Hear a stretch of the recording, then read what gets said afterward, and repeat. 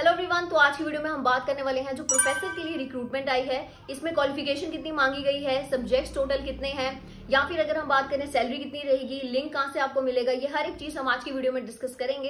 तो चलिए video start करते हैं। तो सबसे पहले हम बात करते हैं पोस्ट की। तो पोस्ट यहाँ पे आपकी प्रोफेसर की होगी, जो कि केंद्रीय विद्यालय की तरफ़ से है।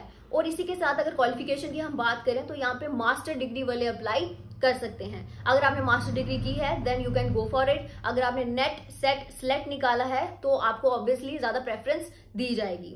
देन उसके बाद यहाँ पे बात करते हैं सब्जेक्ट कौन कौन से रहेंगे। तो यहाँ पे इंग्लिश है साइंस है, जिसमें फिजिक्स केमिस्ट्री बॉटनी भी आ जाती है। देन सोशल साइंस है, जिसमें आपकी रिक्वायरमेंट मांगी गई है हिस्ट्री जियोग्राफी और यहाँ पे पॉलिटिकल साइंस भी है।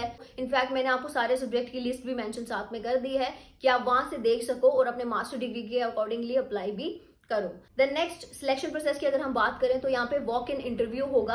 आपने जब फॉर्म फिल करना है, वहाँ पे अपना वेन्यू और टाइमिंग चेक करनी है और उसके हिसाब से ही आपने वहाँ पे अपने डॉक्यूमेंट्स लेके जाना है।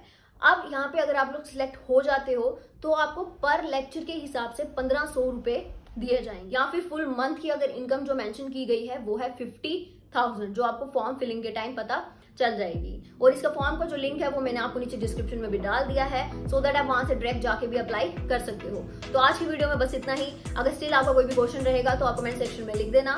So if you like the video don't forget to like share and subscribe for daily updates